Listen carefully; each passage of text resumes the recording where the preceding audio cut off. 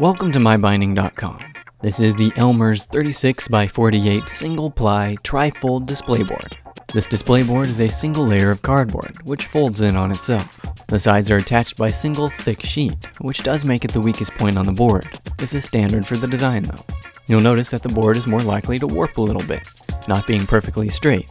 It also has printed designs on one side, compared to the more expensive 2-ply boards that are more sturdy and straight.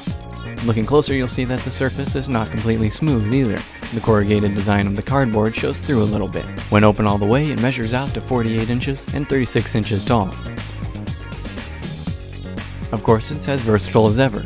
You can tape things to it, glue on images and sheets of paper, or draw on it directly using virtually any kind of writing utensil.